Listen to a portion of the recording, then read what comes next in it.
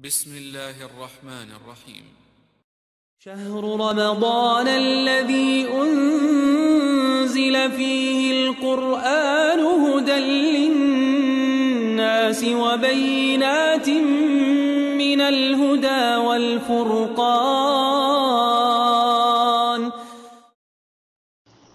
السلام عليكم ورحمة الله. الحمد لله رب العالمين. والآكبة للمتقين نبينا محمد وعلى آله وأصحابه أجمعين. أما بعد أعوذ بالله من الشيطان الرجيم. بسم الله الرحمن الرحيم.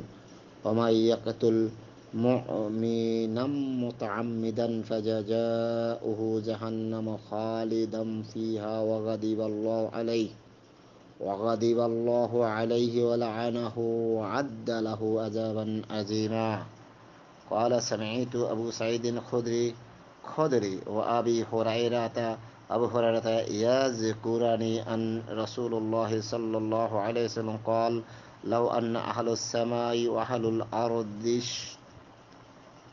أرض تركوا في دامي مؤمنا حديث آخر رواه الترمذي হাদিস নম্বর হলো তেরোশো আটানব্বই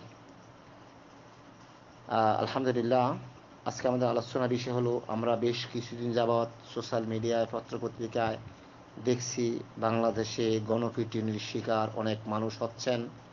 অনেক নিরীহ মানুষকে গণপিটুনি দিয়ে তাদেরকে দুনিয়ার থেকে বিদায় করে দিয়েছেন। এই ব্যাপারে কোরআন এবং হাদিস কি বলে সংক্ষিপ্ত আলোচনা করব অমা তৌফিক ইল্লা বিল্লাহ। আল্লাহ রব্বুল আলম বলছেন ওমাইয়া কাতুল মিনান মিনাম মোতামিদান ফাজা যা উহু জাহান্নাম। আর যে কেউ ইচ্ছাকৃতভাবে কোনো বিশ্বাসীকে হত্যা করে, মুমিনকে হত্যা করে, তার শাস্তি জাহান্নাম। সেখানে সে চিরকাল থাকবে এবং আল্লাহ তার প্রতি রুষ্ট হবেন, তাকে অভিশপ্ত করবেন এবং তার জন্য মহাশাস্তি প্রস্তুত করা রয়েছে।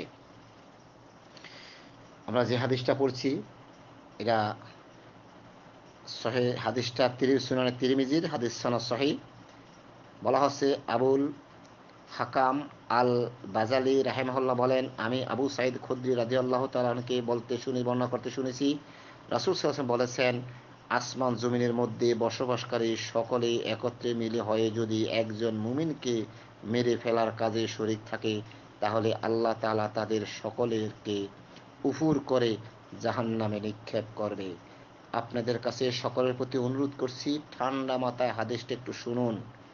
বলা হচ্ছে, আবুল হাকামা আল বাজালি রাহেমাল্লাহ বলেন, আমি আবু সাইদ খুদ্রি রাজিউল্লাহ বর্ণনা করতে শুনেছি, রাসুল সাল্লাম বলেছেন, আসমানে এবং জমিনে, আসমানে এবং জমিনে মধ্যে বসবাসকারী সকলে, সকল বলা আছে, মানুষ, গরু, ছাগল, হাঁস, মুরগির কথা বলা আছে তো বাস্তবে মানুষ, মানুষের কথা বলা হচ্ছে, যে জমিনে বসবাসকারী সকলে একত্রে মিলে হয় যদি একজন মুমিনকে মেরে ফেলার কাজে সহযোগিতা করে।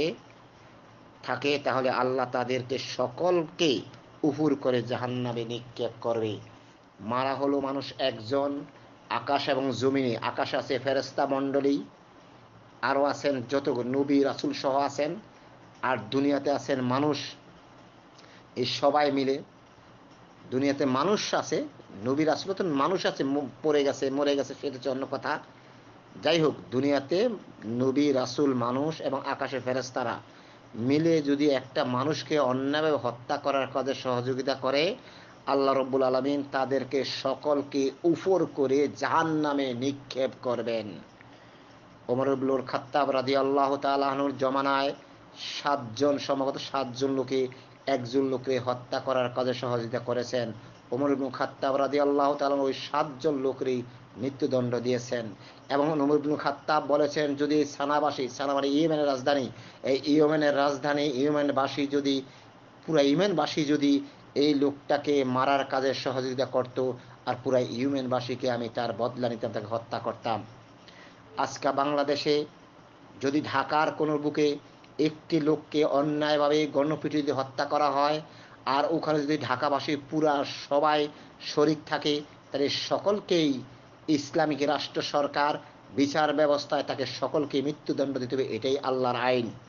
কারণ আল্লাহ আল্লাহ বলছেন, ইয়া আইয়ুহাল্লাযিনা আমানু কুতিবা আলাইকুমুল কিসাসুফিল কাতলা। হে ইমানদাররা, তোমরা যদি ক্যাসাসের পদে কেসাস নেও, তাহলে তোমাদের জীবনে বেঁচে থাকার গ্যারান্টি আছে। সুতরাং আজকে আমরা গণপিটুনি দিয়ে সেদিন দেখলাম, একটি মাকে গণফুটিনি দিয়ে মারা হচ্ছে। আমরা বলি নাই, দুষ্কৃতি নাই আমরা অস্বীকার করি নাই।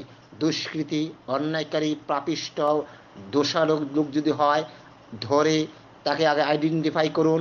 করার পরে দেশের প্রশাসন আছে, পুলিশ আছে মিডিয়া আছে, তাদের হাতে তুলে দেন। আইন শৃঙ্খলার বাহিনীর কাছে তুলে দেন নিজে নিজে আইন হাতে তুলে নিয়েন না।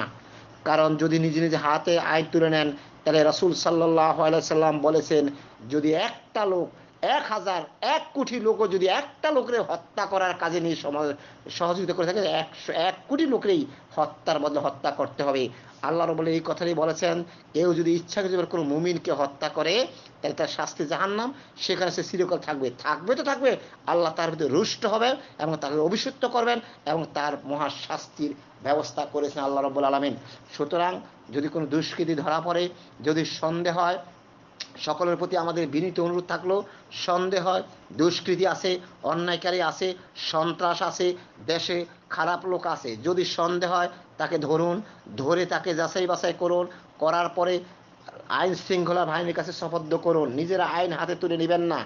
কারণ আল্লাহ রব্বুল আলমী সুরাতুল হুজরাতে বলছে, ইয়া আইয়ুহান নাস ইন যা আহমুল ফাসিকুন। যদি হে ইমানদাররা, তোমাদের কাছে যদি কোনো ফাসেক লোক সংবাদ নিয়ে আসে, তাহলে তোমরা যাচাই বাছাই করো। যাচাই বাছাই করে যদি, না করে যদি তার সিদ্ধান্ত না তা তুমি ক্ষতিগ্রস্ত হবে সেই ক্ষতিগ্রস্ত হবে। কাজে এরা দুনিয়াবিতে ক্ষতিগ্রস্ত হলেন, পরকালে আপনি জাহান্নামী হবেন। আজকে আপনারা যে নিরীহভাবে হত্যা করেন, এটি অন্যায়, এটা হারাম। যে কথা রসুল সাল্লাহ বলছেন, শুধু অন্যায়ভাবে হত্যার ব্যাপারে অন্যায় অন্যায়ভাবে হত্যা করার ব্যাপারে কতগুলো হাদিসে যে লোক যদি কোনোভাবে কোনো মানুষকে অন্যভাবে হত্যা করে, যেমন কেয়ামতের মাঠে সর্বপ্রথম, কেয়ামতের মাঠে সর্বপ্রথম আবি আন আবদুল্লাহ, কল কল রসুল্লাহ সাল্লাহ ইন্না আউ্বালুল মা ইয়াহকুমু বাইনাল আবদিহি মাদিম আবদিহি ফিদ্দামি বলা হচ্ছে, আবদুল্লাহ রাজিল হতে বর্ণিত, তিনি বলেন, রাসুল সাল্লাম বলেছেন, কেয়ামতের দিবসে বান্দার প্রতি সবার আগে বান্দাদের মধ্যে সবার আগে খুনের ফয়সালা করা হবে। আজকে আমরা যে অন্যায়ভাবে খুন করতে আসি অন্যায়ভাবে মানুষকে মারতে আসি খুনের জবাব আপনাকে আমাকে দিতে হবে। অনেক করুক, আপনি করেন না। রাষ্ট্র শাসক আছে, দেশের প্রশাসন আছে, তার কাছে আমরা আমরা তাদের কাছে শপথ করি। হতে পারে এই লোকটা নিরীহ লোক, আপনি যদি মেরে থাকেন কাল কেমতের মাঠে আপনাকে জাহান নাম ছাড়া কোনো রাস্তা নেই, আপনি বাঁচতে পারবেন না। সুতরাং এই ব্যাপারে অন্যায়ভাবে মানুষ হত্যার এবং হাসের মাঠে যে আল্লাহ পাক সর্বপ্রথম বিচার করবেন হত্যার, অন্যায়ভাবে মানুষকে হত্যার, সেই ব্যাপারে সহি বোখারি ছয় হাজার পাঁচশো তেত্রিশ ছয় হাজার আটশোশো চৌষট্টি, মুসলিম শরীফ ষোলোশো আটাত্তর, তিরিমিজি তেরোশো ছিয়ানব্বই থেকে আটানব্বই পর্যন্ত, নাসাই উনত্রিশশো একানব্বই থেকে ছিয়ানব্বই পর্যন্ত, মুসনাদে আহমদ তিন হাজার ছয়শো পঁয়ষট্টি চার হাজার দুইশো এক।